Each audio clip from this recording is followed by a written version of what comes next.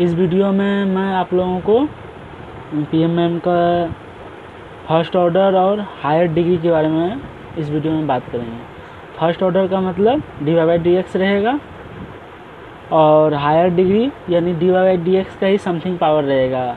Square है cube रह सकता है, कुछ भी रह सकता है। तो इस फॉर्म में हम लोग पढ़ेंगे। लेकिन यहाँ पर जो ये इक्वेशन दिया हुआ, यहाँ वाई स्क्वायर दिया हुआ है तो ये लीनियर इक्वेशन नहीं दिया हुआ ठीक बात है?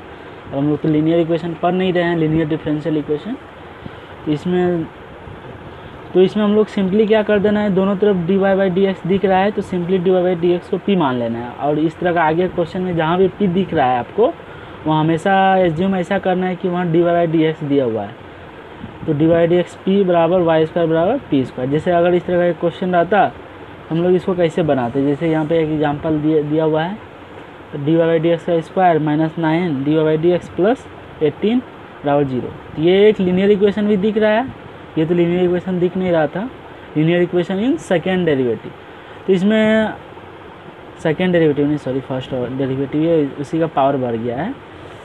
तो यहाँ पे ये लीनियर इक्वेशन भी नहीं है, क्योंकि यहाँ D Y by D X into D Y by D X ना, ये लीनियर इक्वेशन भी नहीं है। सही है। तो इसमें डी वाई डी एक्स को सिंपली क्या मान लेना है? सिंपली इसमें क्या कर देना है? पी मान लेना है। तो जब पी मानेंगे तो एक क्वाड्रेटिक इक्वेशन में कन्वर्ट हो जाएगा P square minus nine P plus eighteen बराबर ज़ीरो तो यहाँ पी का दो वैल्यू आएगा पी बराबर सिक्स पी बराबर थ्री तो इसमें करना क्या है? तो पी बराबर सिक्स आया तो इसका मतलब क्या? पी को हम क्या लोग, हम लोग क्या लिख सकते हैं? D Y by D X D Y by D X लिख सकते हैं, बराबर सिक्स तो यहाँ पर जब इसको डी एक्स को इधर भेज देंगे तो वाई बराबर six X plus C one आ जाएगा। उसी तरह पी बराबर थ्री है तो यहाँ पर क्या हो जाएगा? डी वाई बराबर D Y by D X बराबर थ्री वाई बराबर three X plus C two अब दोनों को उसमें क्या है? दोनों रूट आपस में क्या हो जाएगा? Multiply P minus six into P minus three दोनों मल्टीप्लाई हो जाएगा ना? अगर अल्फ़ा बीटा रूट्स होता है क्वाड्रेटिक इक्वेशन का, कोई क्वाड्रेटिक इक्वेशन है, उसका अल्फ़ा बीटा रूट है तो हम लोग क्या करते हैं? क्वाड्रेटिक इक्वेशन का फॉर्म कैसा होगा? X minus alpha X minus beta बराबर ज़ीरो तो उसी तरह यहाँ पर क्या होगा? P minus six into simply क्या कर देना है? P minus three into zero, उस तरह करके निकाले थे हम लोग। तो यहाँ पर इसका सॉल्व करने के बाद क्या आया? ये चीज़ आया तो डायरेक्ट लिखना है, फिर ये चीज़ आया डायरेक्ट लिखना है, बराबर ज़ीरो करना है, फिर मल्टीप्लाई करके तुरंत आंसर आ जाएगा, ठीक? ये डायरेक्ट बनाने का एक तरीका हुआ। वही अगर, ठीक है नहीं यहाँ तक अब उसी तरह कोई इस तरह का ये स्टैंडर्ड फॉर्म दिख रहा है? जैसे जैसे आगे बढ़ेंगे तो स्टैंडर्ड फॉर्म किस फॉर्म में रहेगा, उसका कैसे क्वेश्चन बनाएँगे? जैसे अगर वाई बराबर कोई फ़ंक्शन रहता है, किसी भी टाइप का X into D Y by D X यानी जैसे सपोज़ कर सकते हैं हम लोग, ये फ़ंक्शन ऐसे दिया हुआ है वाई बराबर मान लेते हैं। वाई बराबर दिया हुआ है X plus D Y by D X into X square मान लेते हैं। तो यहाँ पर क्या, ये ये जो फ़ंक्शन है, x x into D Y D X का फ़ंक्शन है कि नहीं? है? तो इसमें सिंपली क्या कर देना है? डी वाई डी एक्स निकालना है दोनों तरफ़। डी वाई डी एक्स निकालना है। तो ये मेरा क्या हो जाएगा? तो ये हमेशा याद रखना है डी वाई डी एक्स ये क्या हो जाएगा? One plus two X into D Y D X और ये क्या हो जाएगा?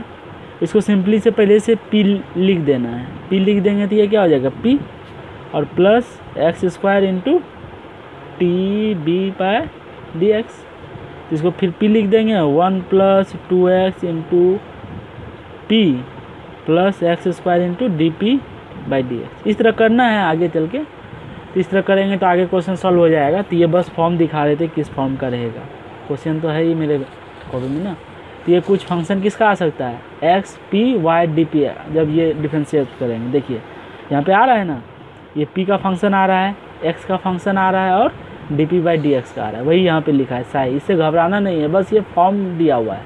जैसे यहाँ हम लोग डिफ्रेंशिएशन करके फॉर्म लाए नीचे देख लीजिए। यही ठीक? और इस पर जैसे एक क्वेश्चन दिया हुआ है, यहाँ पर क्वेश्चन हम बस बता दे रहे हैं कैसे कैसे बनेगा फिर लास्ट में। यहाँ वाई बराबर P X plus P square X दिया हुआ है। यहाँ मैडम ने p क्या लिखी है? D Y by D X P यहाँ लिखने का मतलब है y बराबर दिया हुआ है D Y by D X X plus D Y Y D X का होल स्क्वायर इंटू एक्स फिर क्या कर देना है? दोनों दोनों साइड एक्स के रेस्पेक्ट में डिफ्रेंसिएशन कर देना है। तो डी वाई डी एक्स आ जाएगा और इधर इतना आ जाएगा मेरा। फिर क्या करना है? डी वाई डी एक्स में पी पुट कर देना है। तो पी पी क्या हो जाएगा? मेरा दोनों तरफ़ से कैंसिल फिर D P by D X क्या कर लेना है? कॉमन निकाल के जो भी इधर बच रहा है डायरेक्ट इधर लिख देंगे। और इधर को इधर करेंगे तो ये एक वेरिएबल सेपरेशन मेथड हो गया यहाँ पे। वेरिएबल सेपरेट हो गया। फिर मल्टी यहाँ पे ऐसे डिवाइड करके यहाँ पे आसानी से हम लोग ऐसे इस फॉर्म में ला सकते हैं।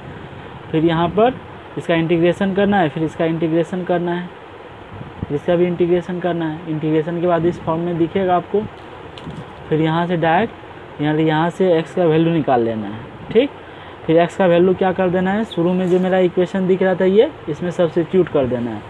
जब सब्सिट्यूट करेंगे, ये इस फॉर्म में दिखेगा मेरा इस फॉर्म में X into P square into X square था। सॉरी हाँ एक्स स्क्वायर ही था। एक्स स्क्वायर था तो एक्स स्क्वायर के फॉर्म में दिखेगा। ठीक?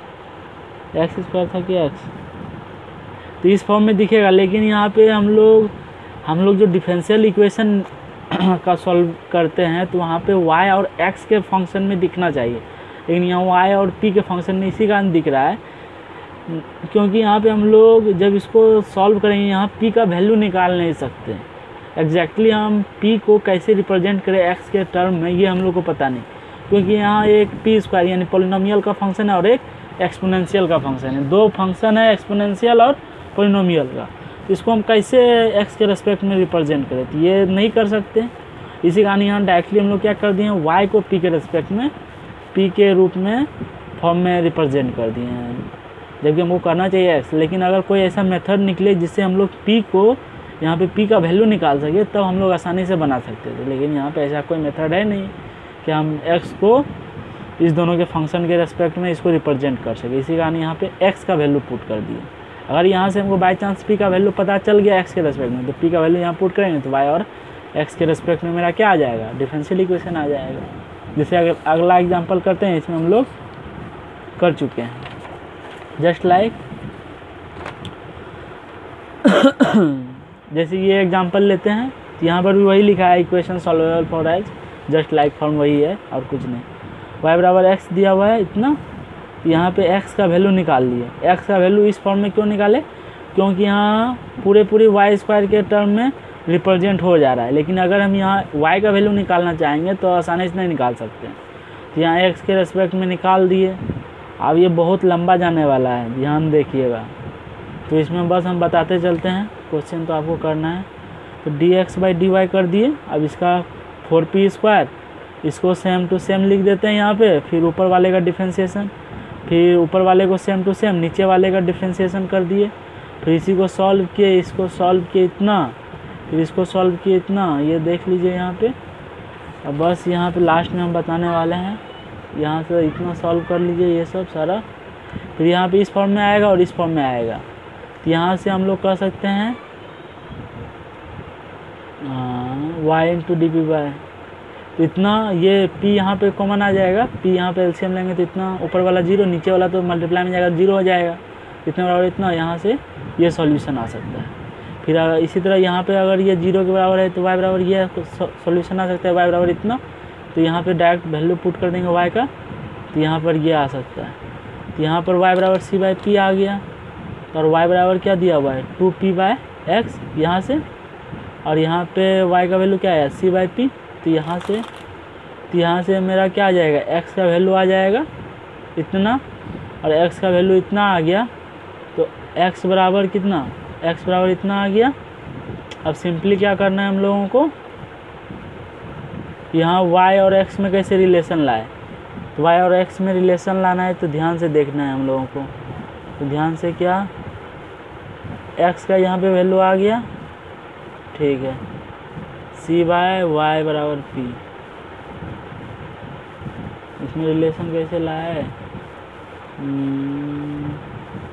सी बाय वाई बराबर पी सॉरी सॉरी सॉरी यहाँ एक्स बराबर इतना आ गया है ना? यहाँ से। यहाँ से एक्स का वैल्यू निकाले हैं जब इतना आया है। सॉरी सॉरी सॉरी वाई बराबर इतना। यहाँ के अनुसार, यहाँ के अनुसार वाई बराबर इतना है और यहाँ के अनुसार सी बाई पी है। तो सी बाई पी बराबर इतना, ठीक? तो यहाँ से एक्स का वैल्यू आ गया इतना और इतना लिख दिए और ध्यान से देखिए। पी का वैल्यू यहाँ से क्या आएगा? पी का वैल्यू सी बाई वाई आएगा। तो सी बाई वाई यहाँ रख दिए। तब यहाँ रिलेशन आ गया हम लोगों का। यहाँ पे कैसा बोलेंगे? ये पाराबोला जैसा आ रहा है क्वाड्रेटिक क्वेश्चन का सॉल्व ठीक है नहीं यहाँ तक? समझ में आ गया होगा आपको? अगले अगले लेक्चर में हम लोग पढ़ेंगे क्लेयर्स फॉर्म क्लेयर्स फॉर्म इसी इसी लेक्चर में बता दे क्या? बता देते हैं। तो ये क्लेयर्स फॉर्म पढ़ना है हम लोगों को। तो क्लेयर्स फॉर्म हमेशा याद रखना है। ये स्पेशल फॉर्म दिखेगा क्लेयर्स फॉर्म में। अगर इस तरह का फॉर्म दिखे तो ये जो फॉर्म सब दिखता है डिफरेंशियल इक्वेशन में ये बहुत याद रखने का मायने रखता है कि कौन सा फॉर्म किस तरह का है। अगर इस तरह है जिसको क्लैरिस फॉर्म कहेंगे। और Y D Y by D X plus P X बराबर क्यू के फॉर्म में है तो उसको लीनियर डिफरेंशियल इक्वेशन कहेंगे। वहाँ इंटीग्रेटिंग फैक्टर निकालते हैं। और क्यू के साथ वाई का पावर एन मल्टीप्लाई है तो उसको हम लोग बर्नौलिज इक्वेशन कहेंगे। ये सब फॉर्म हमेशा याद रखना है कि कौन सा फॉर्म किस फॉर्म का है, तभी क्वेश्चन बनेगा। तो उससे हम लोग आसानी से अप्रोच करके उस फॉर्म का कुछ याद आ जाएगा तो उससे हम उसका मेथड उसका लगा के आसानी से बना सकते हैं। तो हमेशा याद रखना है कि जब भी पी दिया हुआ है यानी डी वाई डी एक्स दिया हुआ है। यहाँ इस फॉर्म में दिखेगा, ये बस इसी को सॉल्व करके आगे लिखा है। इस तरह मतलब D P by D X इस तरह के फॉर्म में जब हम एक्स के रेस्पेक्ट में दोनों तरफ़ डिफ्रेंसिएशन करते हैं तो लास्ट में ये इस फॉर्म में D P by D X पूरा पूरी कॉमन आ जाता है। ऐसा क्यों आता है? क्योंकि यहाँ इस फॉर्म ये स्पेशल प्रकार का फॉर्म है। जब इस फॉर्म में जब हम डिफ्रेंसिएशन करते हैं तो उसमें अपने आप इधर ये कॉमन होके इतना आ जाएगा। अभी इसको हम एग्जांपल के तौर पे समझते हैं तो उससे हम आसानी से पकड़ सकेंगे। तो यहाँ पर डायरेक्ट हमको दिख रहा है वाई बराबर P X plus F of P का फ़ंक्शन रहना चाहिए एफ़ ओ पी का। तो यहाँ पर देखिए। तो यहाँ पे वाई बराबर P X plus F of P का फ़ंक्शन है। तो दोनों तरफ़ वो एक्स के रिस्पेक्ट में डिफ्रेंसिएशन कर देंगे। तो डी वाई डी एक्स इतना आ जाएगा डिफ्रेंसिएशन पी स्क्वायर का क्या होगा? Minus two P T P by D X तो पी पी कैंसिल हो जाएगा मेरा। क्योंकि ये पी तो यहाँ पी दिया हुआ था। पी पी कैंसिल तो यहाँ D P by D X common आ जाएगा एग्जैक्टली क्योंकि जब ये मैं यहाँ कॉमन करके ऐसे ऐसे करेंगे, ये दो तो कैंसिल हो गया ना। ये दोनों तो रहा ही नहीं। ये और ये कैंसिल ये दोनों कैंसिल तो ये आ गया। अब यहाँ पे दो कंडीशन हो सकता है मेरा। या तो D P by D X common हो ज़ीरो हो सकता है, या तो X minus two P plus one बराबर ज़ीरो हो सकता है। अब दोनों को बारी बारी से ज़ीरो करेंगे, और उससे फिर हम लोग रिलेशन निकालेंगे। कैसे निकालते हैं, देखिए। तो D P by D X अगर ज़ीरो हो तो पी बराबर क्या होगा? कोई कांस्टेंट फ़ंक्शन होगा। तो पी बराबर सी मान लेंगे। तो यहाँ पी के जगह क्या पुट कर देंगे? सी पुट कर देंगे। तो यहाँ पर क्या हो जाएगा? वाई बराबर C X plus C minus C square ये एक सॉल्यूशन हो गया। तो अब इसी को देखिए आगे कैसे बढ़ते हैं। अगर ये ज़ीरो के बराबर होगा तो यहाँ पर क्या लिखेंगे? एक्स बराबर टू पी माइनस वन तो यहाँ से पी का वैल्यू निकाल लेंगे। X plus one by two तो फिर यहाँ क्या कर देंगे?